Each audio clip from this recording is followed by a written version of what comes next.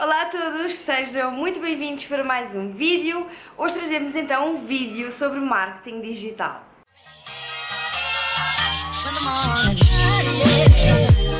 Então malta, como vocês sabem, eu aqui no meu canal do YouTube tenho uma playlist dedicada a conteúdos uh, sobre marketing digital e também no meu site também tenho uma categoria onde eu falo sobre SEO, como escrever para a internet, como alavancar então uh, qualquer projeto que esteja no digital. Uh, tenho imensos artigos sobre esse assunto e como vocês sabem é um tema que eu gosto mesmo muito de abordar. Então, para vos fazer aqui um pequeno enquadramento, uh, eu tirei um curso profissional na área da comunicação também, depois na faculdade voltei a repetir a mesma peripécia, mas num âmbito universitário e na altura que eu acabei a minha licenciatura começou-se a falar de marketing digital. Aliás, eh, as pessoas que entraram no ano a seguir a mim já tiveram esta cadeira no âmbito da licenciatura, eu não, nós não tivemos na altura que, que entramos na faculdade, não, o programa não contemplava a disciplina de marketing digital. E então eu senti uma grande necessidade de apostar uh, e de estudar esta área, porque de facto hoje em dia já não se fala do marketing tradicional e do digital, portanto, uh, quer dizer, eu já vi aqui no livro do, do Vasco o blending blending marketing. Acho que é a expressão que se utiliza para o conceito de marketing hoje em dia. Marketing será sempre marketing, não é? Seja ele onde estiver, marketing é marketing e depois existem várias ferramentas e vários pontos onde ele poderá ser distribuído como se fosse um produto ou um serviço, mas marketing será sempre marketing. E eu então senti muita necessidade então de me uh, atualizar nesta área e o meu primeiro contacto com um curso uh, que eu na altura comprei um curso numa promoção, não sei se foi naquela coisa do Odisseias ou da Vida é Bela, não sei se vocês se lembram ou se ainda existe, a Vida é Bela eu sei que não, mas a Odisseias não, não tenho a certeza. E eu na altura comprei então um curso sobre gestão de redes sociais e o curso era lecionado pelo Vasco eh, e esse foi então o meu primeiro contacto com um curso online sobre marketing digital. Eu gostei imenso do curso que tirei na plataforma do Vasco, eh, nunca tinha feito um curso online, mas gostei muito porque na altura como eu trabalhava, muito oportuno poder fazer o curso ao meu ritmo e então foi esse o primeiro contacto que eu tive, tanto com o Vasco como com o marketing digital. Bom, agora quando eu estive em Portugal, fiz questão de trazer comigo a Bíblia. a Bíblia do Digital, que é o livro que o Vasco lançou, que é um conceito que ele criou, que é o Marketing Digital 360. É um livro assim desta grossura, eh, é muito fácil de ler, evidentemente que tem muitos conceitos técnicos, mas é precisamente por isso também que eu decidi fazer estes vídeos.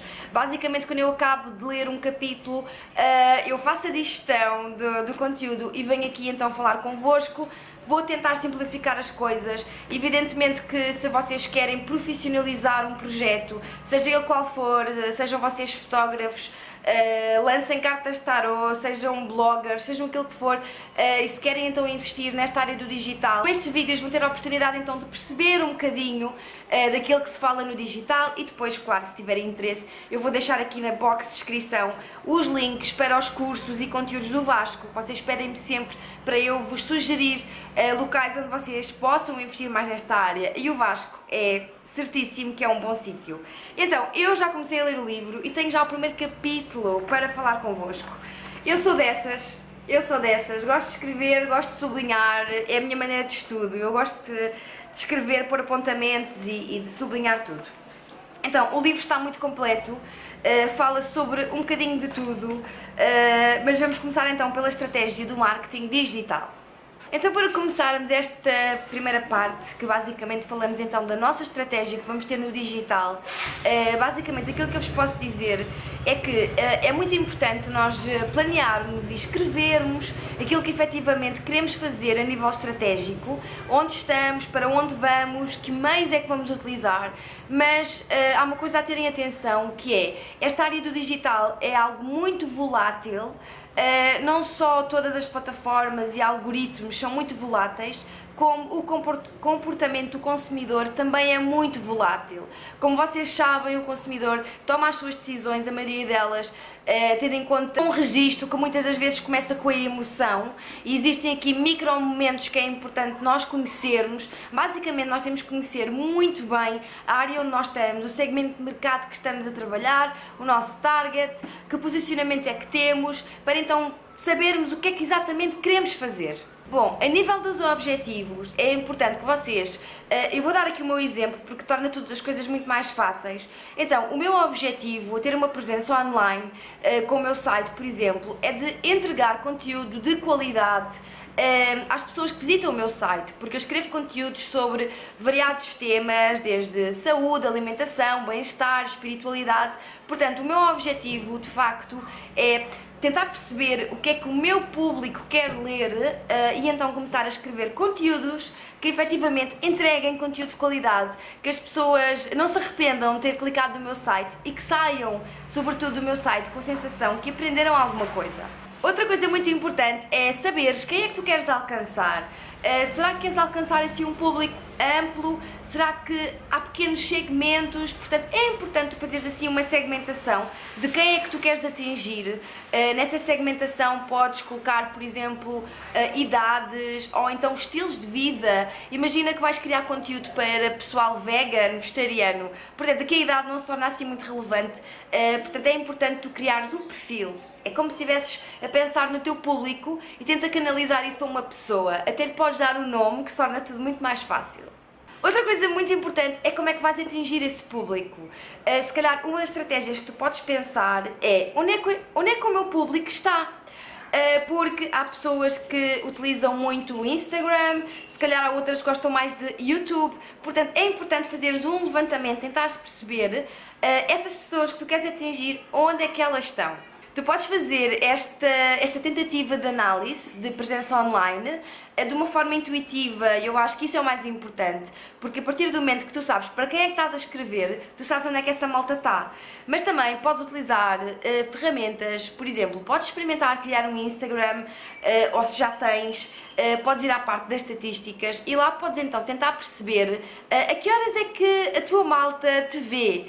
por exemplo, no meu Instagram eu tenho uma tendência que é, quer dizer, varia muito, mas há coisas que nunca falham, que é, eu tenho muita gente no meu Instagram à quarta-feira, eu não sei porquê, mas à quarta-feira, não sei se é por ser meio da semana e as pessoas estarem mais descansadas, no dia a seguir já é quinta, porque é quarta-feira à noite, portanto, é capaz de ser isso, à quarta-feira as pessoas já estão com a semana meio programada, a segunda-feira já passou, o fim de semana também está a chegar, porque no dia a seguir já é quinta-feira, tendo em conta que estas visitas são quarta-feira à noite. Um, e vocês, através do vosso Instagram, podem então verificar isso, ou do Google Analytics. Podem verificar as visitas no vosso site, no vosso YouTube, Facebook, todas as redes sociais têm parte estatística, portanto eu sei que é chato, eu pelo menos não sou nada disso, eu gosto mais da parte criativa, mas é muito importante analisar estes números. Basicamente vais criar então o perfil do teu consumidor e do comportamento do teu consumidor. Se estivermos aqui a falar de pessoas que têm uma alimentação vegetariana, se calhar eu posso criar aqui a Maria e se calhar a Maria uh, é fotógrafa, uh, tem um part-time para ganhar mais uns trocos, gosta muito de ir ao celeiro, a Maria pinta o cabelo com tinta Diana porque ela não gosta de utilizar uh, outras marcas que testam em animais. Ela também compra produtos na Lush.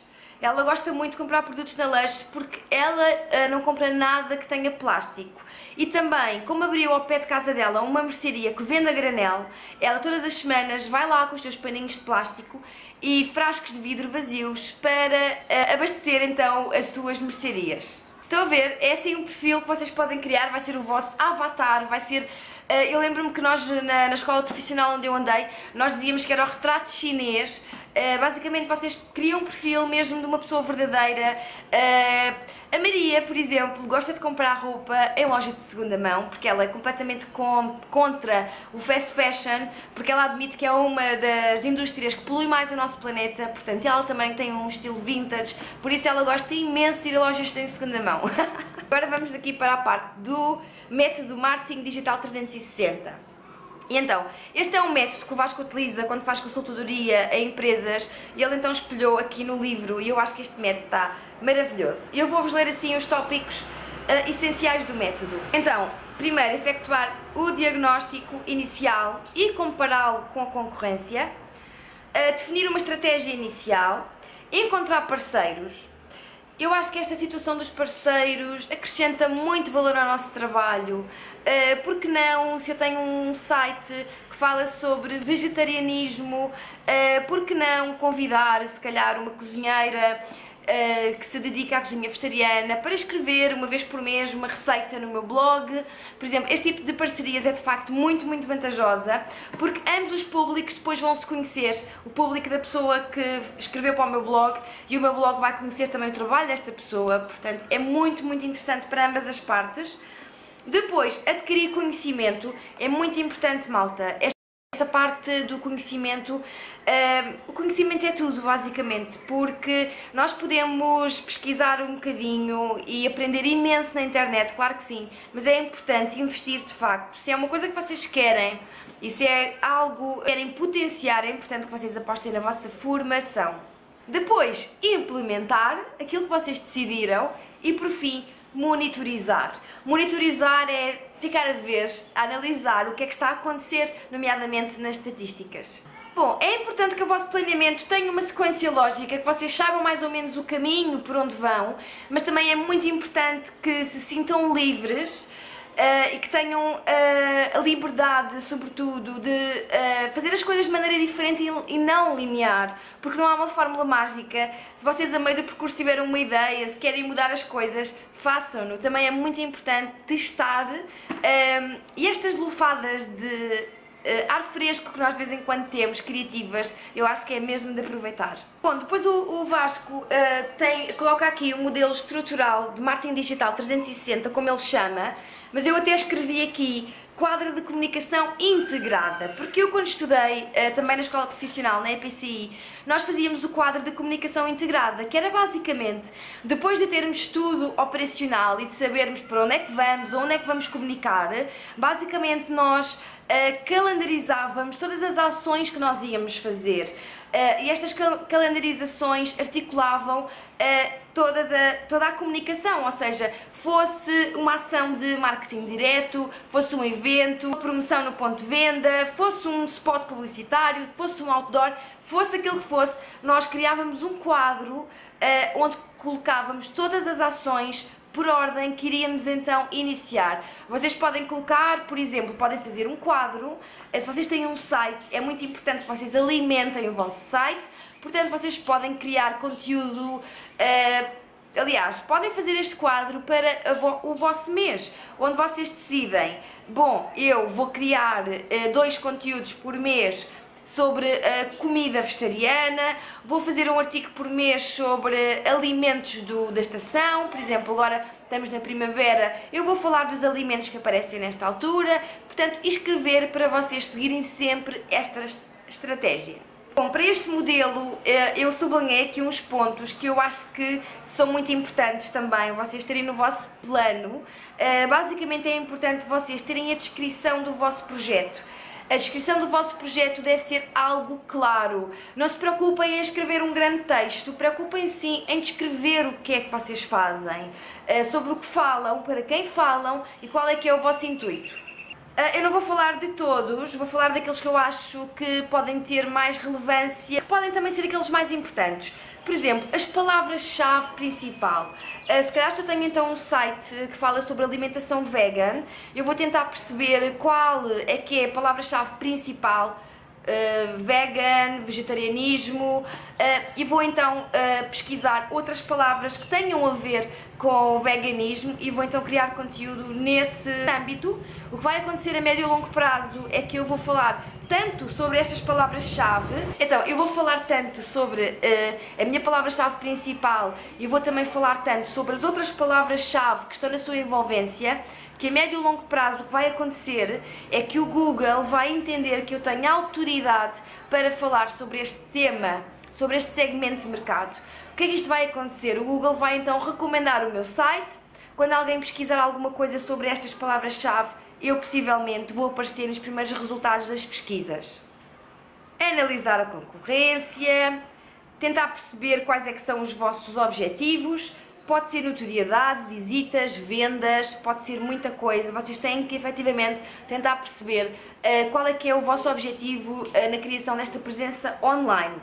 As hashtags, muito importante. O domínio, é importante terem um domínio e, por consequência, um alojamento próprio, mas basicamente uma pessoa, quando entra no vosso site e vê que vocês têm um domínio próprio, eles sentem que a coisa é séria, estão a ver?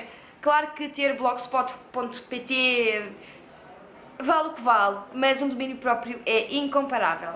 Definir a presença nos diversos social media é importante. Não tem que estar em todas as redes sociais. Tentem perceber onde é que o vosso público está. Que ferramentas vou utilizar, tipos de conteúdo e campanhas de publicidade a realizar.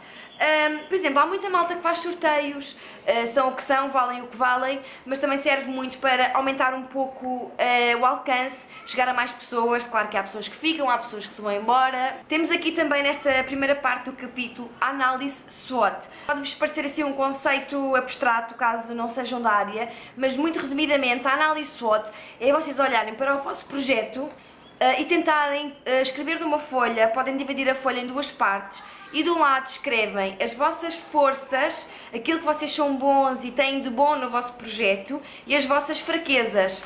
Por exemplo, vocês podem pôr nas vossas uh, forças uh, que têm artigos muito bem escritos, com um bom português, uh, com um conteúdo muito interessante, mas depois na parte da fraqueza não fazem o SEO desse texto. Portanto, é importante vocês verem o vosso projeto, dividirem e perceberem aquilo que têm de bom e aquilo que têm então para melhorar. Outra coisa muito importante a fazer é segmentação e o posicionamento. A segmentação é vocês perceberem exatamente com quem é que vocês vão falar, que tipo de segmento de mercado uh, ou que tipo de nicho. Vocês podem então até atingir vários micro nichos e criar conteúdo diferenciado. Claro que haverão pessoas uh, que poderão estar uh, em simultâneo nestes micro nichos, mas podem haver pessoas que estejam só num deles. Outra coisa muito importante então é o posicionamento e o posicionamento trata basicamente como é que o mercado vos vê. Como é que as marcas vos veem, como é que os consumidores vos veem, como é que a concorrência vos vê. É exatamente isso, é a vossa presença, é a vossa imagem, é quase como se fosse o ascendente, o vosso ascendente. E nunca esquecendo que é muito importante vocês estarem envolvidos nesta área, se não for uma área de vosso conhecimento, se vocês estiverem a aplicar estas estratégias de marketing para uma empresa e se calhar o negócio que eles têm, o core business deles, aquilo que eles vendem, uh, não, vocês não são o target, portanto, automaticamente não se vão identificar com isso. Tenham uma dupla preocupação em estudar o que é que o vosso segmento de mercado faz, quem é que eles são, tentem saber tudo sobre eles, o que é que eles almoçam, que marcas é que eles gostam, tudo é muito importante.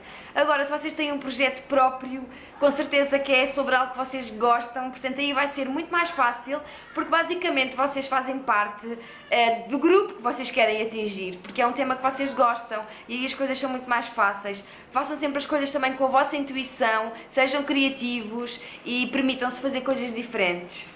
E é isso, malta. Eu vou deixar aqui em baixo os contactos do Vasco. Aconselho muito a investirem nesta área. Aqui da minha parte, vamos ter então o capítulo 2 no próximo vídeo. Espero mesmo que tenham gostado. Não se esqueçam de comentar aqui em baixo e dar o vosso grande like se gostam deste tipo de conteúdo. Um grande beijo e até ao próximo vídeo. Mua.